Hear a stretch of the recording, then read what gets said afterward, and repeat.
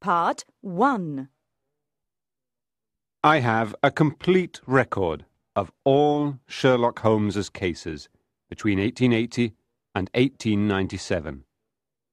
My friend and I worked together on some very important crimes during that period. We also worked on some very strange cases together. The strangest of all the cases is the one I am going to write about now. It all began in September. The weather was terrible, I remember. It rained and it was very windy all day. The weather grew worse in the evening. Sherlock Holmes and I sat by the fire in his flat in Baker Street. We did not say much. Holmes was working with some papers, and I was reading a story. Suddenly, I heard the bell. I wonder who that is, I said. Are you expecting a friend, Holmes? No, he said quietly. You're my only friend, Watson. I don't like people visiting me at home. Then it must be a client, I suggested. If it is a client, Holmes replied gravely, it is a serious case. No one would walk through this storm if the case were not serious. The landlady opened the front door of the house. A few moments later, there was a knock on the door of Holmes's flat. Come in, cried Holmes. A young man entered the room. He looked about twenty-two years old, and he was well dressed. He seemed very nervous, and he was pale. Give me your coat and umbrella, Holmes ordered. I will hang them up to dry. I see you have come to London from the southwest, he added. Yes. The young man agreed. He looked surprised. I've just come from Horsham. But how did you know that? The clay and chalk on your shoes is very distinctive, Holmes told him. I've come for advice, said the young man. Advice is easy to give, Holmes replied. I need help as well as advice, the young man added. Help is not always easy to give, Holmes said seriously. I've heard a lot about you, Mr. Holmes, the young man said. Major Prendergast told me how you helped him in the Tankerville Club scandal. Ah, yes. Holmes remembered with a smile. Uh, the Major was accused of cheating at cards. He said you could solve any mystery. The young man cried. That was an exaggeration, Holmes said quietly. The Major said you are always successful. That's not true, Holmes corrected him. I have lost four times, three times against men and once against a woman. But you've had hundreds of cases, the young man went on. Four defeats are nothing against hundreds of successes. I'm sure you'll be successful with my case. Please tell us all about it, my friend suggested. It's a strange case, the young man began. The things that have happened in my family are very mysterious. Tell us everything, Holmes repeated. My name is John Openshaw, the young man said. I have very little to do with the story. To understand it, you will have to know something about the history of my family. He paused for a moment. Then he went on. My grandfather had two sons, my uncle Elias and my father, Joseph. My father had a bicycle factory in Coventry. He was very successful, and when he retired, he was a rich man. My uncle Elias went to America when he was a young man. He, too, became a successful man. He owned property in Florida. He fought for the South in the American Civil War. He became a colonel in the Confederate Army. He did not want black people in America to have the vote. When the South was defeated, my uncle Elias returned to his property in Florida. He came back to England some years ago. He bought a house in Horsham. He was an odd man. He was not very friendly, and he lived by himself. His neighbours sometimes saw him in his garden, but he generally stayed in the house. He drank a lot of brandy, and he never had any visitors. He did not want to see his brother. He seemed fond of me, however. Mr. Openshaw continued. He asked my father if I could live with him. I first went to his house when I was about twelve years old. He was kind in his own way. He played draughts with me, and he put me in charge of the servants in the house. By the time I was sixteen, I was master of the house. I had all the keys of the house, and I could do what I wanted. There was only one place I couldn't go into. Mr. Openshaw said. There was a room in the attic that my uncle kept locked all the time. He did not allow anyone to go in there. I looked through the keyhole of that room when I was a boy, but it wasn't very interesting. I could only see pieces of old luggage and boxes of papers. One day, my uncle received a letter. He looked carefully at the foreign stamp on the envelope. From India, I wonder what it can be, he muttered. He opened the letter quickly. Five orange pips fell out of it onto the table. My uncle went very pale. He looked terrified. He stared at the envelope. KKK! he cried loudly. He looked at the postmark on the envelope. From Pondicherry, he said. What's the matter, uncle? I cried. Death, he said. That's what this letter means. I have done bad things in the past, and now I'm going to die. He got up from the table and went into his room. He was still very pale. I picked up the envelope and saw the letters KKK written on the inside of the flap. There was no letter inside it, just the five orange pips. I couldn't understand what was happening. I left the dining room a few minutes later and went upstairs. I saw my uncle coming down the stairs. He was carrying a key in one hand and a box in the other. He had been into the locked room in the attic. They can try if they want, he muttered mysteriously, but I'll beat them in the end. Then he spoke to me. Call Mr. Fordham my lawyer, he ordered. That afternoon, the lawyer arrived. My uncle called me into the room. There was a fire burning in the room. There were lots of papers burning in the fire. The box from the attic room was open on the table. I saw the letters KKK on the inside of the lid. I'm making a will, Uncle Elias told me. I'm leaving everything to your father. When he dies, you will have it all, John.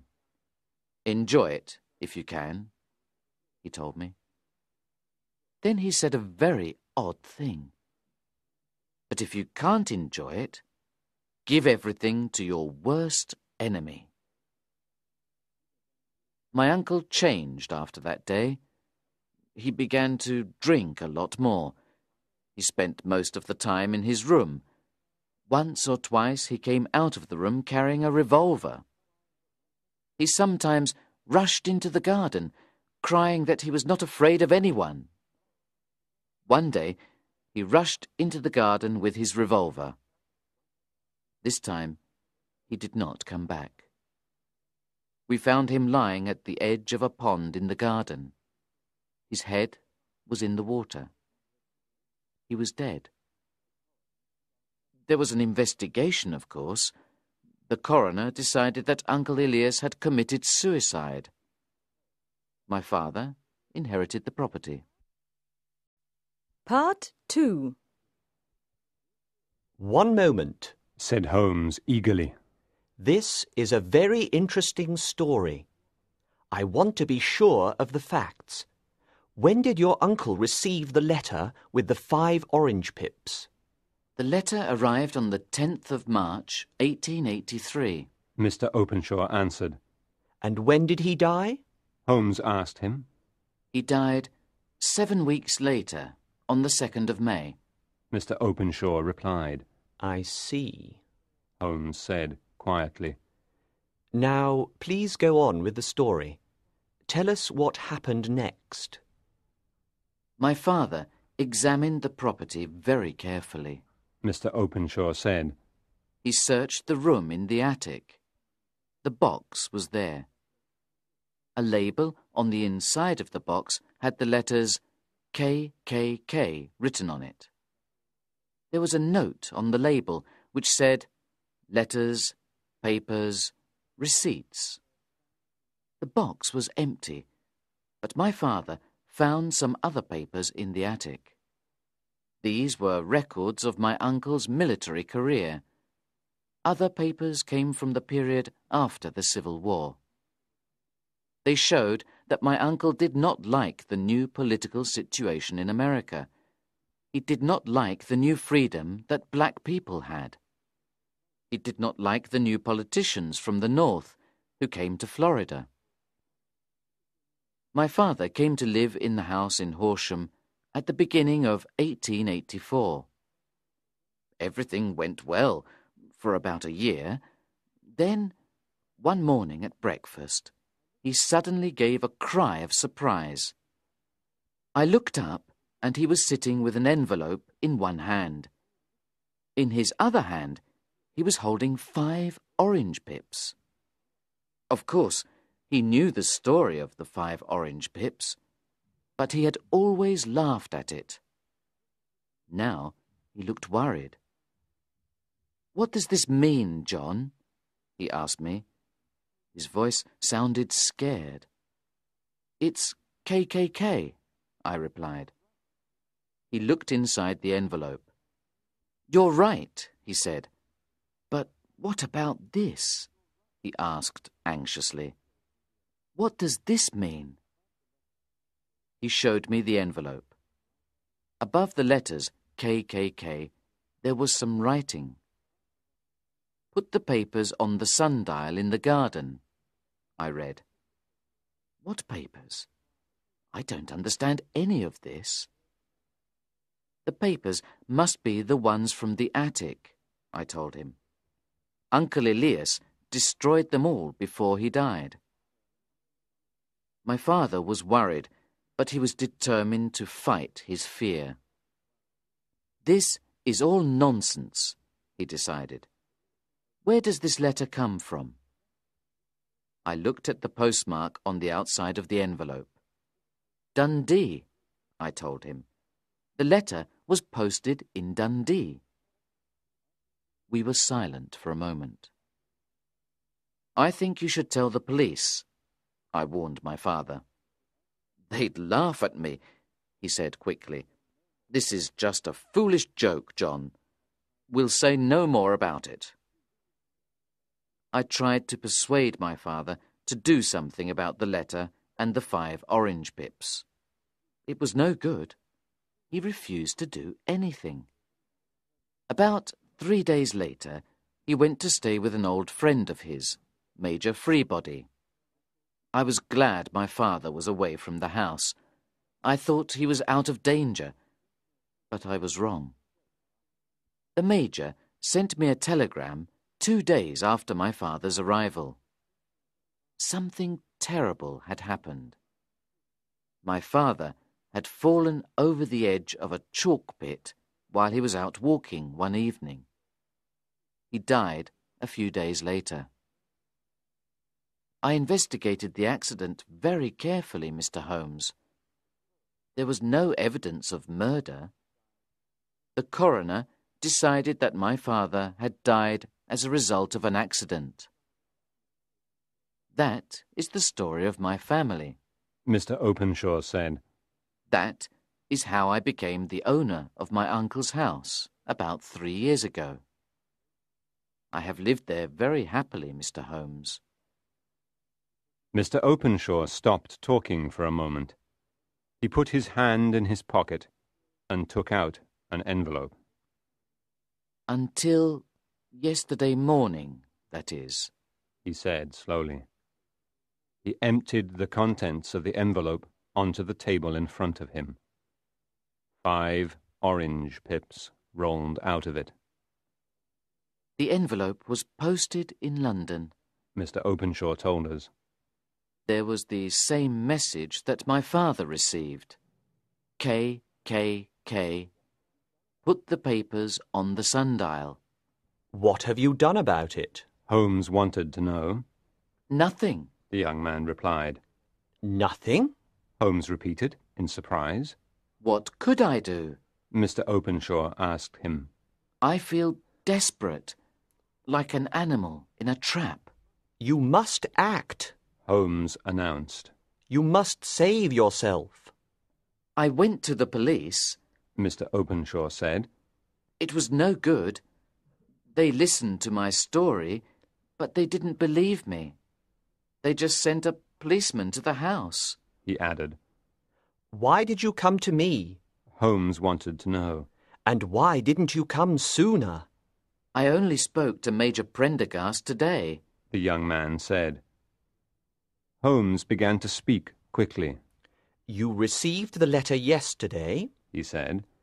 Do you have any other evidence to show me? Only this. Mr. Openshaw told him. He put a piece of blue paper on the table. I found this piece of paper in my uncle's room after he burnt the papers from the box. He explained. It was on the floor. It seems to be a page from a diary. Holmes and I looked at the piece of paper. It was dated March 1869, and beneath it was written Fourth, Hudson came, same old platform. Seventh, sent the pips to Macaulay, Paramore, and John Swain of St. Augustine. Ninth, Macaulay cleared. Tenth, John Swain cleared. Twelfth, visited Paramore. All well. Holmes studied the piece of paper for a few minutes, and then he turned to Mr. Openshaw. You must go home at once, he ordered him. Put this piece of paper into the box from the room in the attic. Then put the box on the sundial in the garden. You must also write a note. Explain that your uncle burnt all the other papers. You can do nothing else at the moment. Do you understand? Yes, I do. Mr. Openshaw said. I'll do what you advise, Mr. Holmes. Go home straight away. Holmes told him. And be very careful. You are in great danger. I'm carrying a revolver. Mr. Openshaw replied. Good. Holmes replied. I will begin working on the case tomorrow. You'll come to the house in Horsham then? Mr. Openshaw asked him. No, Holmes said. The secret of the case is here in London. I shall stay here to solve the mystery. Part 3 Mr. Openshaw left the flat a little while later. Holmes and I sat in silence for a while. Then he lit his pipe and smoked for a few minutes. This is a strange case, Watson, he said at last. John Openshaw is in very great danger. Very great danger indeed. What kind of danger, Holmes? I asked excitedly. Holmes did not reply to my question. Pass me the American Encyclopedia, he said. I think we shall find out something useful if we study the volume for the letter K. He told me. We also have to think about Colonel Openshaw, he said. Why did he leave America, I wonder? Was he frightened of something? And why did he lead such a solitary life when he arrived here in England? Was he still afraid of something? He paused for a moment. What do the envelopes tell us? He asked me. Where were the letters sent from, Watson? They were sent from Pondicherry, Dundee, and London, I said. The last one came from East London, he said. What does that information tell you, Watson? They are all seaports, I cried excitedly. The writer was on a ship. Precisely, agreed Holmes. Now think about this. Colonel Openshaw died seven weeks after he received the orange pips. His brother died only a few days after he received the pips. How do you explain that, Watson? I can't, I admitted. What does it mean, Holmes? The writer sends each letter on the mail boat, Holmes said. He then takes another boat to come to England. There is always a delay between the arrival of the letter and the death. The reason for the delay is clear. The mailboat is a fast steam vessel. The writer of the letters travels on a slower boat, a sailing ship. But why, Holmes? I asked. What is the reason for these murders? Colonel Openshaw's papers were very important to the writer of these letters, Holmes said. I think there is more than one man, Watson. There have been two murders. That suggests an organization. KKK are not the initials of an individual. They are the sign of an organization, you see. The organization wants Colonel Openshaw's papers, and they will kill to get them. What organization, Holmes? Holmes turned the pages of the American Encyclopedia.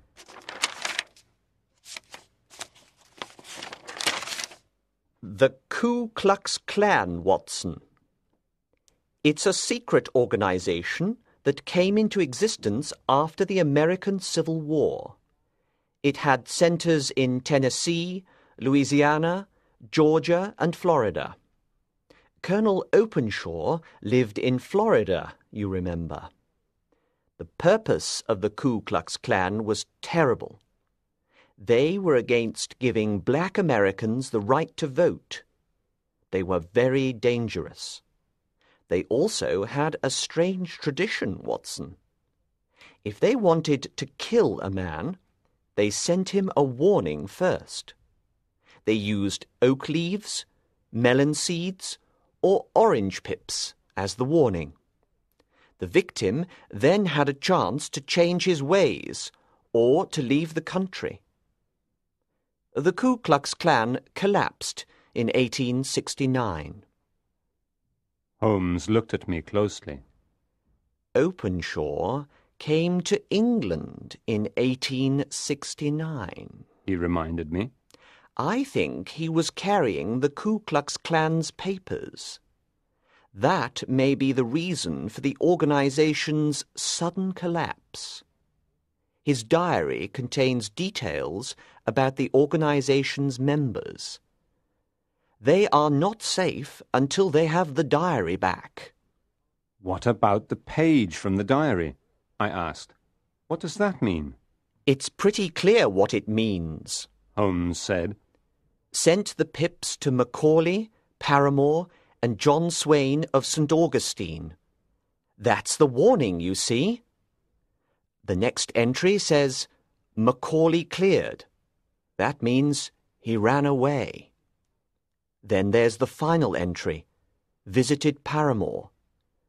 I expect the visit was a fatal one. The next morning, Holmes and I had breakfast together at his flat. I'm worried about Mr. Openshaw, he told me. I may go to Horsham after all. As he spoke, I picked up the newspaper that was lying on the table. I saw the headline immediately. Holmes, I cried, you're too late. What do you mean? Holmes asked quickly. I passed him the morning newspaper. Tragedy near Waterloo Bridge. Police Constable Hook was on duty yesterday evening near Waterloo Bridge. He heard a cry for help and then a splash in the water. It was a very dark night and the weather was bad. The constable could not rescue the man. The water police found the body of a young man in the river. The man was John Openshaw of Horsham. Police believe that he was hurrying through the dark streets and fell into the river by accident. There was no sign of violence on the body. Holmes put the newspaper down. I have never seen him look so angry.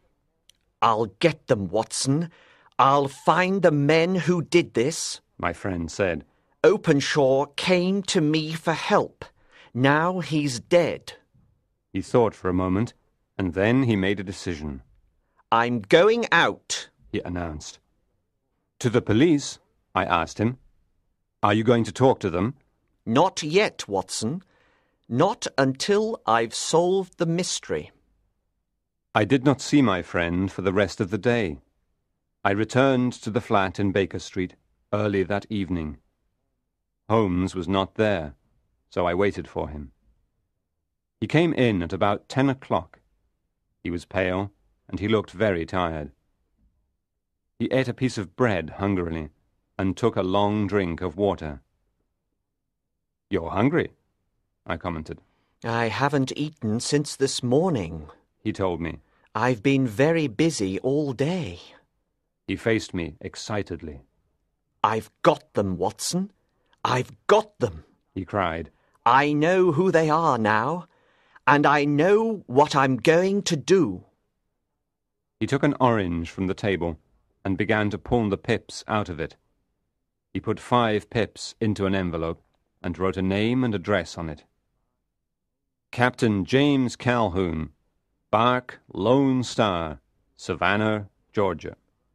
That message will be waiting for him when he arrives. Holmes said with a smile.